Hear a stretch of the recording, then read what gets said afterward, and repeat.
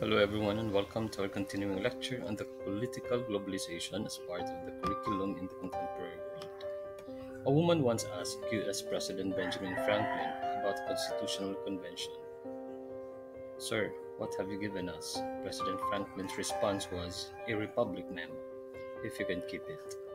Most Americans believed that the government system of their country is democracy and not a republic. But essentially, there is a difference between these two. An important, and it is important to note that the polit- to note the political system of it. By the way, Ephraim Joshua Flores has a good insight on political systems SoundCloud channel. Check him out. Many have been led to believe that the political spectrum places groups such as communists on the far left, fascists or dictators on the far right, and political moderates or centrists in the middle. In the middle.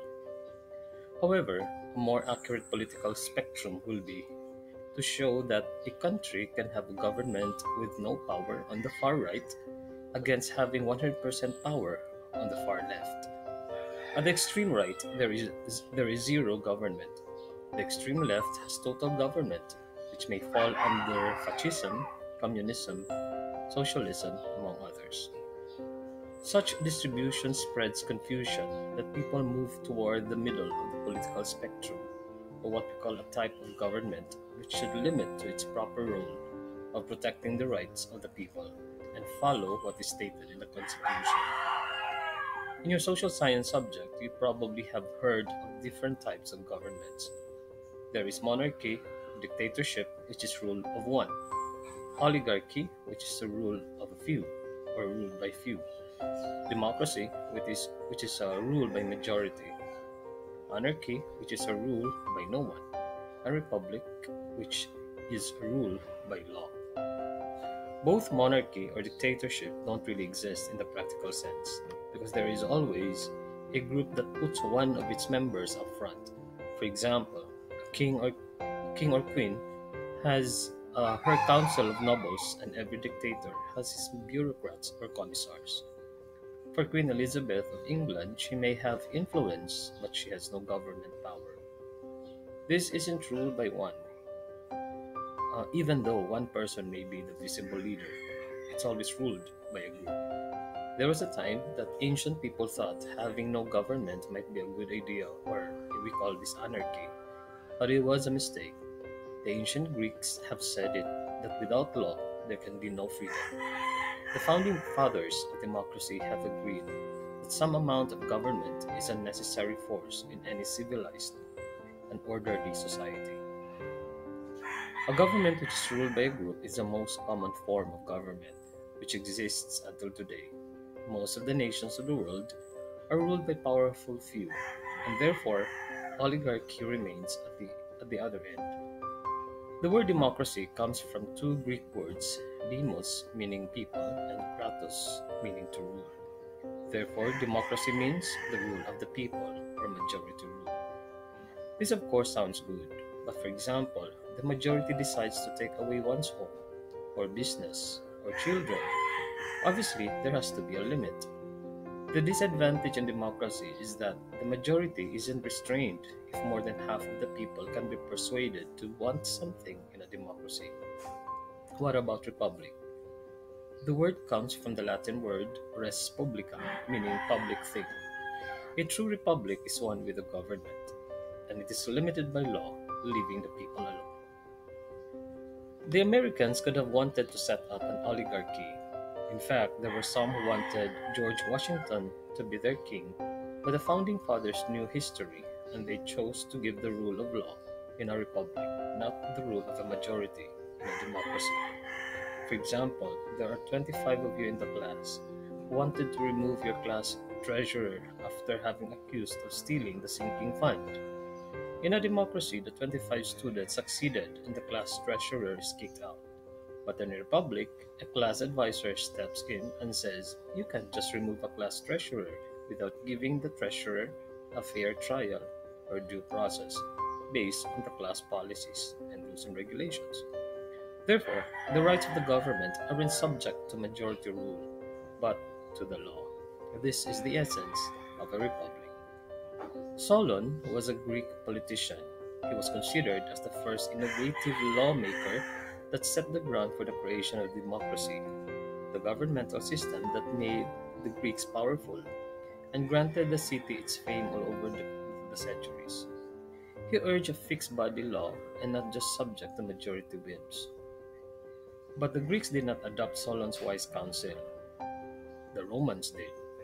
Based on what they know about Solon's laws, they created the Twelve Tables, the first legal code of the Roman Republic, drafted between 451 and 450 before Common Era, to help resolve conflict between wealthy patricians or wealthy patricians and common plebeians. These laws established rights and responsibilities of Roman citizens in areas of property, trials, personal, personal wrongs, public and religious matters, thus became the Republic.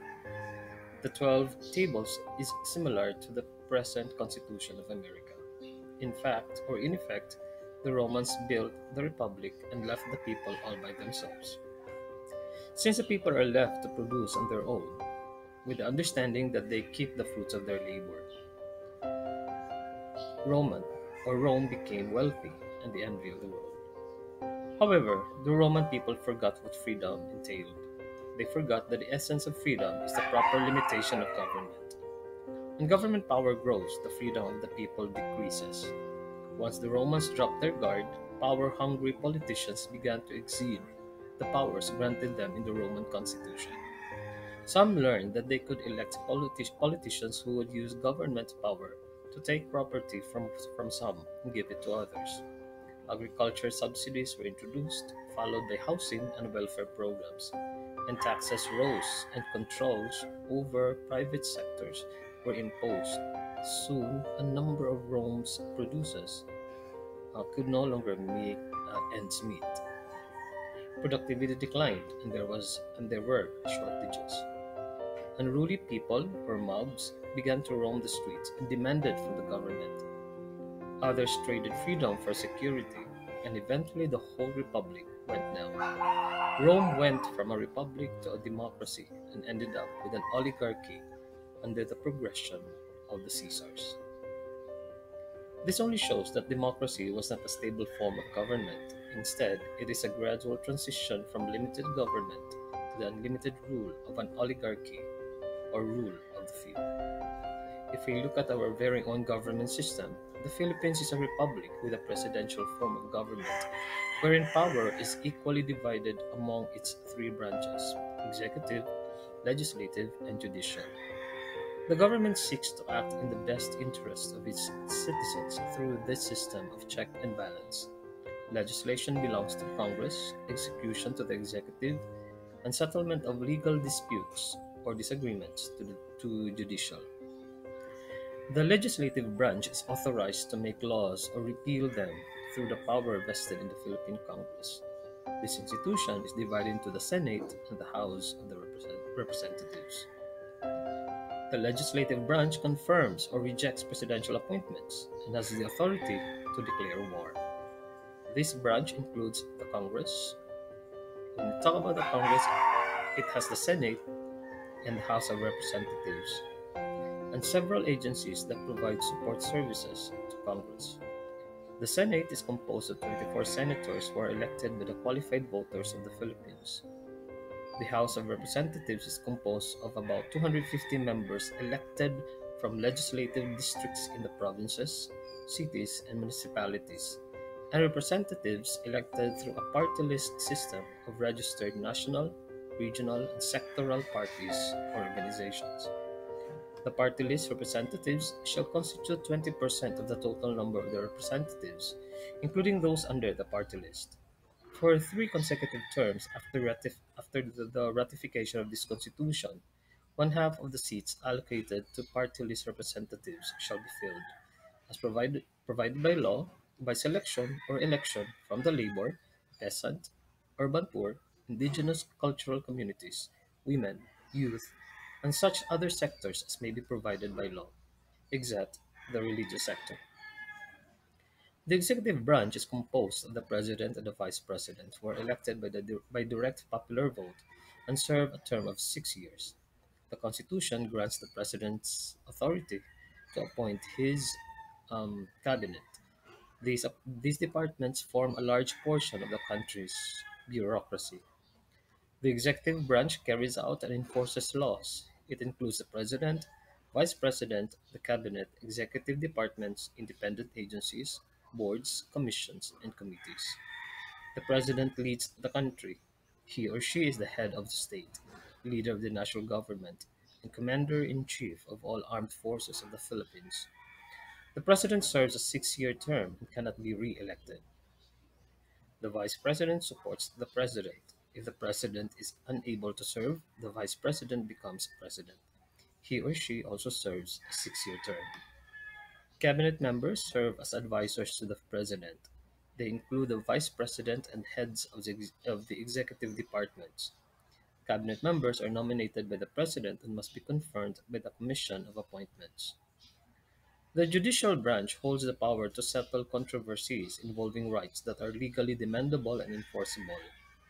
This branch determines whether or not there has been a grave abuse of discretion amounting to lack or excess of jurisdiction on the part and instrumentality of the government. that is made up of the Supreme Court and the lower courts. The judicial branch interprets and the meaning of laws, applies laws to individual cases, and decides if laws violate the Constitution. Judicial power shall be vested in one Supreme Court and in such lower courts as may be established by law. Each branch of government can change acts of the other branches as follows. Number one, the President can veto laws passed by Congress. By veto, we mean the constitutional right to reject a decision or proposal made by a lawmaking body. Number two, Congress confirms or rejects the President's appointments and can remove the President from office in exceptional circumstances. Impeachment of the President can be done if he or she commits treason, graft and corruption, and betrayal of public trust. Number three, the justices of the Supreme Court who can overturn unconstitutional laws are appointed by the President. The Constitution expresses, expressly grants the Supreme Court the power of judicial review as the power to declare a treaty, international or executive agreement, laws, presidential decree, proclamation, order, instruction, ordinance, or regulation unconstitutional. Our very own government system has rich history in terms of political systems. From 1565 to 1821, the Philippines was indirectly governed by the, by the King of Spain through Mexico. When Mexico gained independence from Spain, we were governed under the Spain. The goal of Spain was to bring Catholic religion to the New World. Spain was also able to use the church government for political purposes. Under Spain, the government, the government which was established in the Philippines was centralized in terms of structure and national in scope. Remember that the reason why Philippines was easily colonized was the absence of a central government and lack of unity among people. Here, barangays were consolidated into town, each headed by a gobernadorcillo, and towns into provinces headed by governor, who represented the governor general in the province. We also have the Katipunan government during the revolutionary period against the Spanish colonization. The Katipunan was a secret society in 1896 organized by Andres Bonifacio. The Katipunan was replaced by another government headed by General Emilio Aguinaldo as president, who was elected in the Tejeros Convention 1897. This resulted to the Biak na Bato Republic established by General Aguinaldo. He declared that the aim of the revolution was, to, was the separation of the Philippines from the Spanish monarchy and their formation into, a, an, into an independent state. Following the outbreak of Spanish-American War in 1898, General Aguinaldo, in view of the chaotic conditions of the country, established the dictatorial government. The highest achievement of this dictatorial government was the Philippine Independence Declaration on June 12, 1898, and the reorganization of the local governments. The next stage in the political development of the Filipinos was the establishment of the Commonwealth Government of the Philippines. Pursuant to an act of the United States Congress in 1934, commonly known as the Tydings-McDuffie Law, the law provided for a transition period of 10 years, during which the Philippines Commonwealth would, op- would operate and at the expiration of said period on the 4th of July 1896, the independence of the Philippines would be proclaimed and established. The new government of the Commonwealth of the Philippines, deemed successor to the government of the Philippines, was inaugurated in 1935, following the first national elections under the, one, under the 1935 Constitution. Manuel Quezon and Sergio Osmeña were elected as president and vice president, respectively. The Japanese military administration was established in 1942, one day after its occupation or their occupation. Under a proclamation issued by the Japanese High Command, the sovereignty of the United States over the Philippines was terminated. The Japanese-sponsored Republic of the Philippines was inaugurated with Jose Laurel as president. From here on, you can research more about how our republic has turned out to be what it is now, starting with events like the martial law and the new republic. I think you also have uh, subjects in the past uh, which tackled Philippine Constitution and Philippine government. I hope you can read back, throw back to your high school, and then read history. Because, a Spanish philosopher George Santayana said, those who cannot remember the past are condemned to repeat it. Thank you very much and uh, be safe.